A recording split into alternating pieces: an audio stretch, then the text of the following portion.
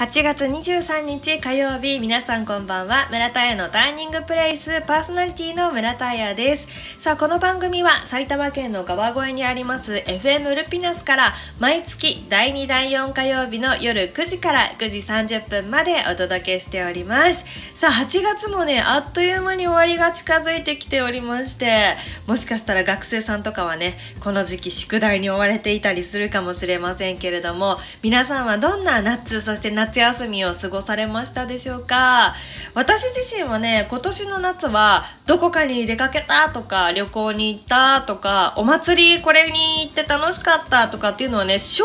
直ちょっとパッと思い当たるものはないんですけれどもなぜかわかんないけどすんごい慌ただしく過ごしておりまして本当にあっという間の夏だったなという感じがしてます、まあ、ですが9月の中旬ぐらいまでかな。ちょっとねまだまだ暑い日々は続きますので皆さん熱中症とかね引き続き気をつけていただきたいなと思いますけれどももしねこの夏こんなことあったよとかこんなところ行って楽しかったよっていうのがありましたらねぜひ番組宛てにメールをいただければと思いますので楽しかった思い出もね教えてください。さあこの番組では皆さんからのメール募集しております。ます。こんなものを取り上げてなどなどもねどしどしお送りください。メールアドレスは radio.mail.aya.gmail.com radio.mail.aya.gmail.com となっております。ちなみにねあのツイッターの方でも皆さんがねつぶやいていただけると番組もね盛り上がっていきますのでよかったらね放送聞いたりとかアーカイブ聞いた際にですね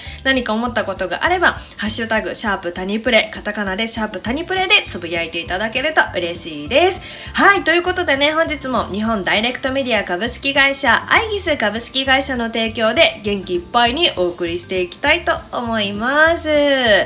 さあ、改めまして、川越にあります FM ルピナスから FM86.0MHz でお送りしております村田屋のターニングプレイス。まずはですね、今週の気になるもの、場所、あの人ということでございまして、私村田屋が最近とにかく気になっていることについてお送りしていきたいと思うんですけれども、実はですね、あの、ここ最近、えっ、と、ちょっと番組のロケに行ってきまして久々にねこのなんか暑さの中で外でロケをするっていうのを体験してこんな暑かったっけってねなんか改めて実感させられましたけど年々暑くなってるよね絶対にね。前までは外でロケしてても暑いけど耐えられるぐらいだったんですよ。だけどここ数年はやっぱり外にいて暑すぎて熱中症がやっぱ皆さん心配に、ね、なるからどうにか水分補給してくださいとか体冷やしてくださいとかっていうことが多くなってねみんなで気をつけるようになりましたけどそれこそねそのロケ私が参加していないタイミングで実はカメラマンさんが倒れちゃったりとかしたみたいでカメラマンさん倒れちゃったらもう何もできないからね本当にね大変だだったってお話を伺ったんですけれども、まあ、誰がねいつどんな形で体調が悪くなるか分かんないから外にいるとね。そうだからそれを心配しながらみんなでこう気遣いながらっていうねロケだったんですけれども、えっと、実はそのね、あのー、参加させていただいた番組なんですが「旅スケチャンネル」っていうえっと、いわゆるオンラインツアーを配信しているチャンネルがありまして実は知ってる人もいるかもしれないんですが去年の11月だったかな私自身が、えっと、長瀞のね観光アンバサダーを務めさせていただいていることもあって旅スケチャンネルの中で長瀞のオンラインツアーを紹介した回があったんですよ。その時に私は長瀞のガイドとして番組に出させていただきまして当時だからアキラ100%さんがリポーターとして長瀞に来てくれてアキラさんに長瀞のいいところをいろいろご紹介するっていう回だったんですね。でその時に3日間実はオンラインツアーっていうのをやりましてで旅スケチャンネルに関してはちょっと特殊で実はあの全国各地の皆さんも配信は見れるんですけれども基本的には介護施設向けに配信をしているチャンネルなんですね。でなぜかというともともとその旅助っていう、えーと、会社さんが介護施設向けの旅行の代行サービスみたいなのをやってらっしゃってでコロナ禍になってやっぱりねお年寄りも含めた上でなかなかこう旅行に行けなかったりとかお外に出れないっていうね不安な日々が続いている中で皆さんにどうにかお外の景色を楽しんでもらおうとかなんかねこう感動を与えられたらっていうところでオンラインツアーが始まったそうでだからできてからまだ23年ぐらいだと思うんですけれどもちょうどだからその長瀞で参加させていただいた時はまだできて1年とかぐらいであの配信に参加させてもらっていてで今現在もその介護施設向けの一応ツアーとしてやってるんですが一般の方々ももちろん見ることはできますしいろんなね企業さんとかも見ていただくことも可能なんですけど、まあ、基本はだからなんだろうおじいちゃんおばあちゃんに向けてと言いますか介護施設さん向けにあのこう配信をしていてで実はこれが全部生配信なんですね。で生配信なのでその場の空気感とかあとはそれこそ暑いね夏の日だったらその暑さとかも全てこう動画でお届けするような形になってましてで今回その旅助チャンネルの中で、えっと、靖国神社を中継するっていうことで私は行かせてもらったんですけどなんとですね本当に急遽決まりまして突然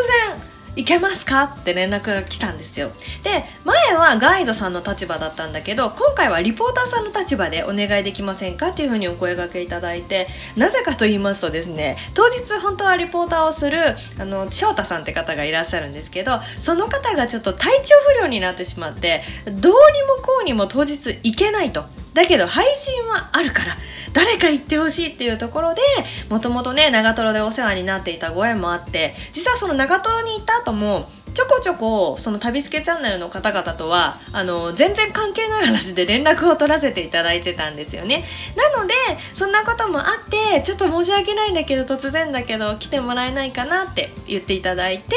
今回はねあの行くことになりました。でもねなんかすごいありがたいご縁で私もそういう旅番組とか大好きだし自分でもねいろんなとこ行っていろんな方のお話聞くっていうことが今までもお仕事として大好きだったしあのすごい素敵なねスタッフさんとかメンバーの方々に囲まれてお仕事できるの嬉しいのでぜひ行きますってことで今回靖国神社に行ってきました。で靖国神社のねあの空気感やっぱりいつ行ってもね本当に素敵な場所で実は私靖国神社は何度か行ったことがあったんですけれどもというのもえっ、ー、とね今から何年前だろうな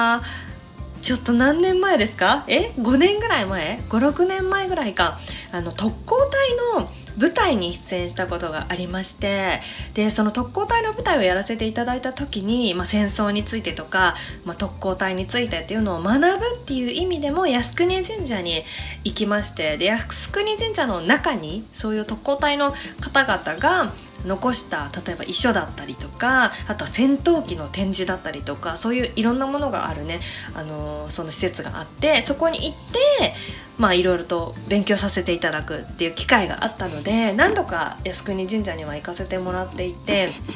でちょっとねなんか懐かしい思いといろんな思いを抱えながら今回はね靖国神社に行ってロケっていうことだったんですけどもう一日中その日は暑くってですねめちゃくちゃ炎天下の中でじりじりとねあの体が焼ける感じもね、感じながらさらにはアスファルトの照り返しがやっぱり暑いですね。東京都内は特に、うん、靖国神社もすごい暑くってスタッフさんと一緒にねあのひいひい言いながらちょっとロケをしていたんですけど。でも不思議となんか靖国神社の中って緑が多いからかもしれないんですがなんかこの蒸し暑さっていうかあの暑くても耐えられないみたいな雰囲気がなんかなくってですね。意外と暑いけど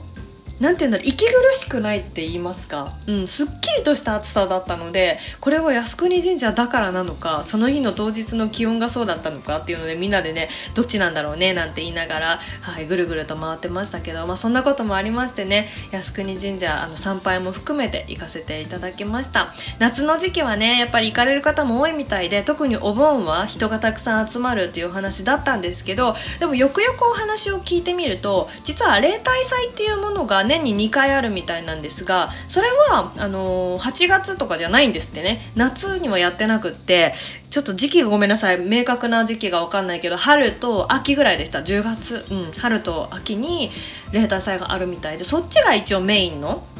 あの皆さんが集まる時期なんですって。だけどやっぱりお盆の時期ってね皆さん終戦記念日とかも重なるからそれによってたくさんの人が訪れるっていうお話はしてましたけどなんかお話聞いてみると初めて知ることっていっぱいあるからだから私旅番組好きなんですけどね。やっぱり思ってたのと行ってみるのとか話を聞いてみるのでは全然違うからね。そうそれが皆さんにお届けできてね今回は私自身もすごくね勉強になり楽しかったなというところでその旅スケチャンネルって検索していただくと出てくるんですけれども基本は介護施設向けのオンラインツアーになってるんですけど、あのー、サイトを登録していただいたりとかあとはね有料のコンテンツもちょっとあって有料でしか見れないオンラインツアーとかもあるんですけどそちらをね、あのー、いろいろ入れといていただけると今後私もあのもしかしたら何かの形で登場するかもしれませんしすごく素敵なサービスだなって思っているのでよかったらねちょっとチェックしていただけると嬉しいです。SNS とかでもね私もあの日々いろいろちょっと上げていきますのでね見てみてください。そう私自身がそう旅行が好きっていうお話をねすごいしたくって今回ね旅好きチャンネルのお話もさせてもらったんですけど、えっと、コロナ禍になる前ですか？うん2年前ぐらいか。は、えっと、ラジオの方で「聞き旅」っていうねラジオ番組やらせてもらっていてそこの旅人としてもね参加していたんですけど「聞き旅」っていう番組は本当に素晴らしい番組でコロナ禍になってしまって旅行に行けなくなっちゃったがために番組自体が実はなくなってしまったんですけどもうそれまでは私本当にね多分ねもしかしたら今までやってきた仕事の中で123位を争うぐらい好きな番組で。なぜかというととにかく全国各地に旅行に行ってそこのご当地のものを食べたり飲んだり見たりできるっていうこと。プラススタッフの皆さんがねもうめちゃくちゃいい人たちばっかりだったのでなんか仕事で旅行に行くっていうよりは家族旅行みたいな感じで楽しむことができていたっていうのもあってですね。本当に大好きな番組だったんです。なのでいつか旅番組はやりたいしいつかねあの本当に自分が行きたいなと思っていた場所だったりとかみんなが見たいななと思っている景色っていうのをお届けできたらということでちょっと旅についてはずっとやりたかったことなので今回はねあのそういう意味でも旅スケチャンネルとまたねご縁があってこういう形でできてよかったななんて思っているんです。でその中のその一つとして旅として川越にやっぱりね来てもらいたいとか行きたいっていう思いはあの常にありましてやっぱ川越観光地だからねその聞き旅の番組やってる時も川越に行きたいですって話になって私実は川越の案内もさせていただいているんですよ。なので YouTube に上がってるかな多分村田屋スペース川越とかでやったら聞き旅の動画が出てくるかもしれないんですけれども当時も菓子屋さん紹介したりとかあの蔵造りのね街並み紹介したり時の鐘紹介したりたりということをいろいろやっておりまして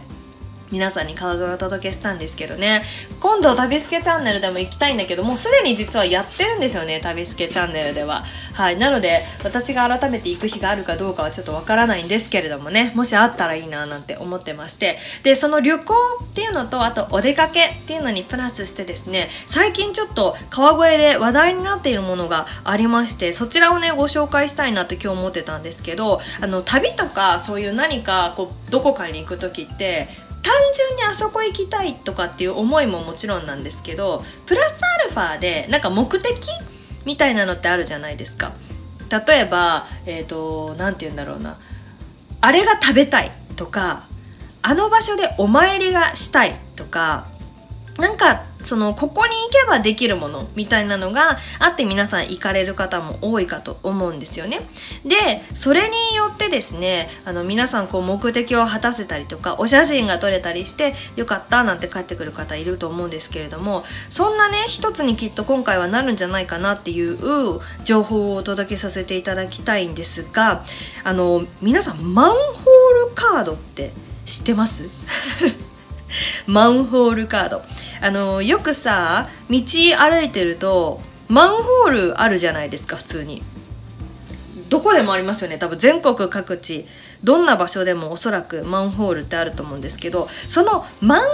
ホールをえっ、ー、と何て言うの？このマンホールの蓋にいろんな絵が描かれてるんです。これ多分ご当地によって違ったりとかその地域によったりとか時期によったりしていろんなねあのマンホールの絵柄が描いてあるところがあると思うんですけれどもそのマンホールを、えっと、デザインをそのまんまカードに写真で写してで裏側にはそのマンホールのデザインがなんでそのデザインになったかっていう情報も含めてカードになっているものがあるんですよ。でマンホール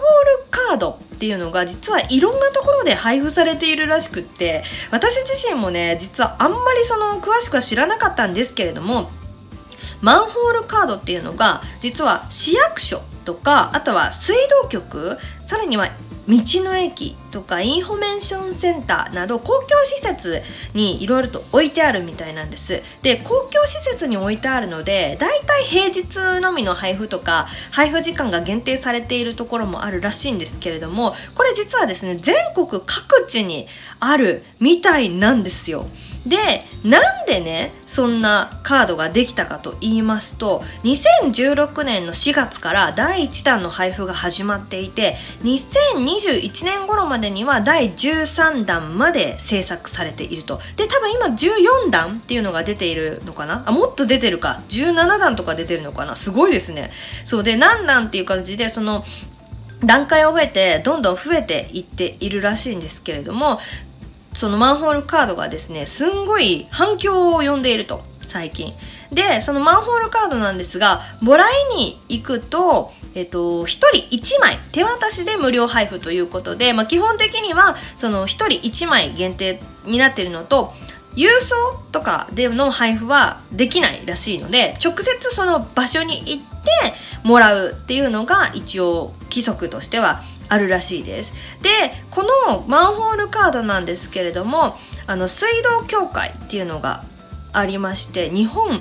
下水道協会か。失礼しました。そう日本下水道協会っていうところが、えー、勤めている下水道広報プラットフォーム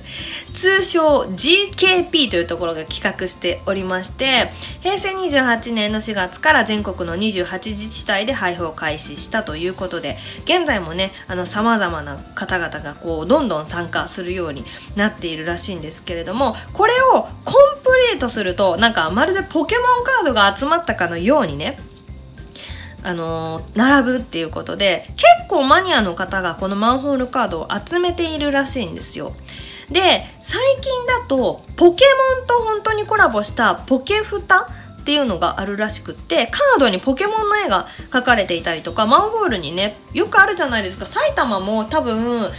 地域によってになるんですけれどもご当地のゆるキャラが描かれていたりとかあとは、まあ、あの埼玉県150周年とかもあったりしてマンホールに150周年の、ね、絵が描かれていたりとかっていうのをいろいろあのやっておりましてでそれをね集めると、まあ、そのマニアの中ではすげえみたいな感じで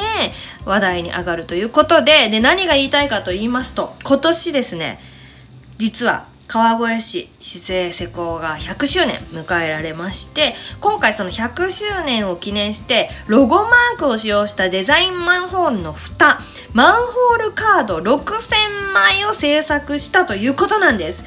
何が言いたいかそうです。6000枚しかないんです。なので皆さん早めに川越のねカードゲットしに言ってほしいなと思うんですけどあの実はすでにそのマンホールの蓋っていうのは出来上がっておりまして100周年のねデザインがされている蓋があるんですけれども、えっと、このねデザインの蓋は6月に街中の中心部8箇所に設置されているみたいなんです。これぜひマンホールも探しに行ってほしいんですけれどもその表面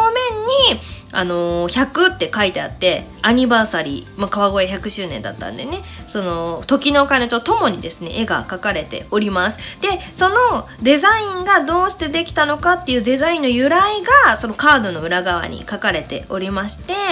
実際にそれをね読んでいただいたりとかするとああこういう風にできたんだなっていう歴史も感じられてねすごく素敵なカードになっているんですが最近出たばっかりなのでもし欲しいよっていう方がいらっしゃったらねちょっと急ぎ足で川越に行っていただいてマンホールカードゲットしてほしいんですけどこういうなんかダムカードとかもそうじゃないですか。ダムのカード欲しいからそこの地域に行ってダムに行ってみる。そこでしかもらえないカードがある。みたいなのってすごい面白くって私も別にすごいマンホールが好きとかダムが好きってことではないですけどでも集め始めたら多分やりたくなると思うからなんかねこの地域だったらこのカードがあるよとかって言われるとその町にね足を運びやすくなるんじゃないかななんて思ったりしておりまして。でもともと私は結構どっかに行ったりとか旅行行ったりとかするの好きだからあのー、いろいろ検索してねここに行きたいななんていうのもあったりするんだけどもし今まで旅行とかにそんなにね興味がなくて行ってなかった。だけどちょっとなんかどっか出かけてみたいなとかいう人がいたらそういうマンホールカードとかダムカードとかなんか集められるものがある場所をこう転々としてみたりとかさらにはもともと旅行好きっていう方がいらっしゃったらそこにプラスアルファしていただいてそこのご当地のカードを集めてもらうとかっていうのもねこうリンクしていいのかななんて思ったりもしております。あれですね御朱印帳とかとちょっと同じ感じ？まあちょっとご利益とかは全然違うと思うんだけど御朱印帳も神社に行ってハンコ集めたいからあそこ行ってみようとかあの神社行ってみようとかもあるじゃないですか。そうで結構ね私も御朱印帳は以前いつだったかな何年か前にうちの両親がなんか御朱印帳欲しいって言い始めてで両親と一緒に買ってですね神社で書いてもらったりしたんですけれども私の場合はついついその御朱印帳をあの持ってって書いてもらうのを忘れがち。そう持っていかなきゃいけないからその御朱印帳っていうノートみたいなの。そうなんか神社によっては何て言うんですか1枚ペラで書いてくれるところもあるんですけど本というかノートを持っていかなきゃいけないとなると結構これ忘れがちでああやっちゃったってなって1箇所忘れるともういいやみたいになっちゃう時がねあってなかなか私はちょっと御朱印帳続かなかったんだけどでもカードとなればもらいに行くだけですからその場に行ってね皆さんこうプレゼントでもらって帰ってくるっていうお土産ができるのでねぜひぜひちょっと試してほしいなと思います。なのでね今回はちょっと川越のカードができましたよということでご紹介をさせていただきましたけれども川越100周年ということでまだまだ今年ねあの全然楽しめますから夏の時期はやっぱ暑いからどうしても外を歩こうと思うとね早くお店に入ろうみたいな感じになっちゃうけどこれから秋そして冬に向けてはねいい季節にもなりますしお外食べ歩きしながらね川越の街を楽しんでほしいななんて思うのでぜひねきっかけをちょっと見つけていただいてあの出歩いてほしいなと思います。であのさっきも言ったんだけど村田屋川越で検索していただくと多分動画出てくるんですよ。で動画でご紹介してるところもすごくねいいところもいっぱいありますし私自身も学生時代から川越はね通ってる街なのでもう本当に大好きだしいろんなね素敵なお店もあのたくさん行ってほしいところがありますのでよかったらねいろんなものをチェックしていただくとすでに出してる情報が出てくると思いますのでねお出かけになってみてください。はいまあそんなわけでねこの夏は私もバタバタと過ごさせていただきましたが秋に向けてねやらなきゃいけないこともたくさんあるしなんかみんなと楽しめるものをねいろいろ考えていきたいななんて思っております。でちょっとあのまだ今の時期ちょっとコロナが増えたり減ったり減ったりはしてない増えたり増えたり増えたりしておりましてこれから先ね何ができるのかなとかそれこそウィズコロナっていうので一緒にねそのコロナを避けずにどうにかなんか今まで通りのことができる環境っていうのを作っていかなきゃいけないなっていうふうには思っているんですけどなんせねちょっと人と人がこう接触するとうつるうつらないとか、ね、感染がどうのこうのってやっぱなっちゃうのでなかなかリアルでこう人をたくさん集めてやるイベントっていうのはもうもちろんやってるところもあるんですけどね。あるけどやっぱ外じゃないと難しいのかなとかいろいろあったりはしますがまあでも今後ちょっと私がね実はやりたいことがありまして時期を見計らってにはなってしまうんですけれどもあのちょっとしたオフ会をやりたいなと思ってましてこれがね、あのー、オフ会といってもイベントをやるということではなくてなんか普段直接お会いできない皆さんとその時だけは例えばどこかのお店に集まってこうな例えば10人とかね5人でもいいですけど なんかすごいこじんまりとしたあの人数で集まって美味しいものを食べながらとかカフェをしながら最近こういうことがあったんですよとかこんなお仕事してるんですよとかなんかねあの皆さんと近い距離感でお話ができるようなオフ会をやりたいなと思ってまして本来なんかイベントとかってなるとこちら側がパフォーマンスをしたものを皆さんに見ていただくっていうことが多いと思うんです。ステージとかになるとね。だけどあのー、もうね私も結構いい大人というか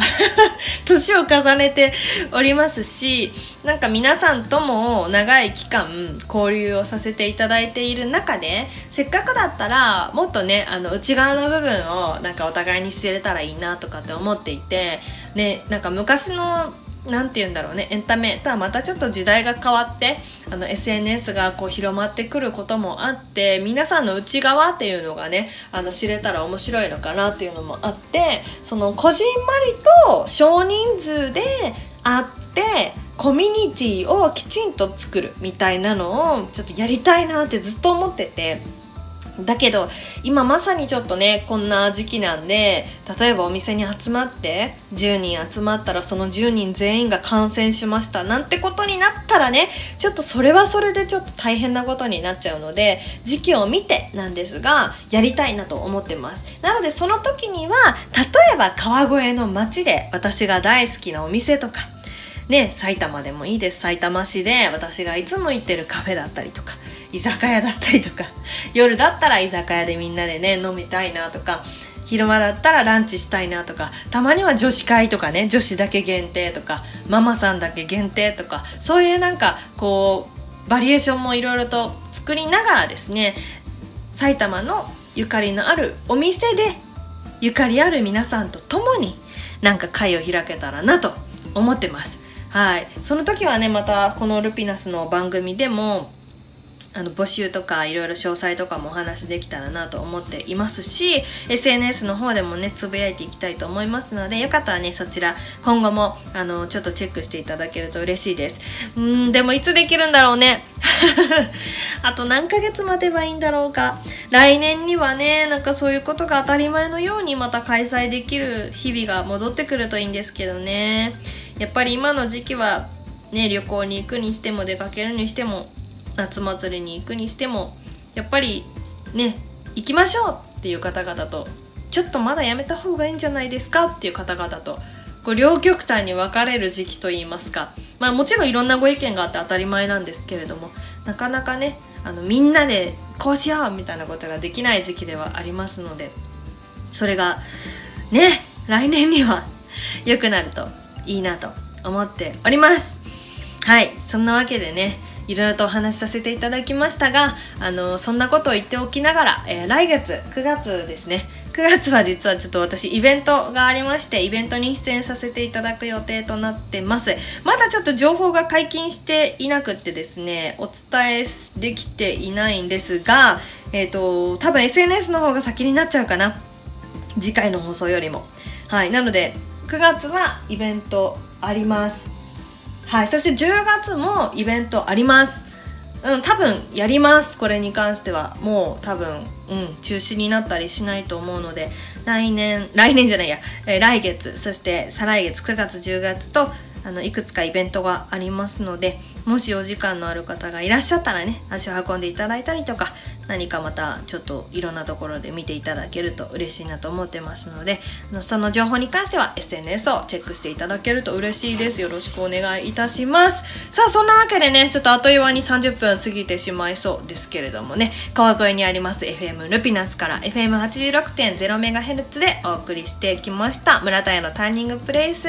さああのね今後もぜひ皆さんのメールだったりとか Twitter とかいろいろとね一緒に盛り上げていただけると嬉しいので何かありましたらお送りください。えメールアドレスは radio.mail.aya.gmail.com radio.mail.aya.gmail.com となっております。さあ、ということでね、ここまでは日本ダイレクトメディア株式会社アイギス株式会社の提供でお送りさせていただきました。またね、次回も、えー、何か情報をお伝えできるように頑張っていきますので、来月もお楽しみにしていてください。パーソナリティは村田彩でした。それではまたお会いしましょう。バイバーイ。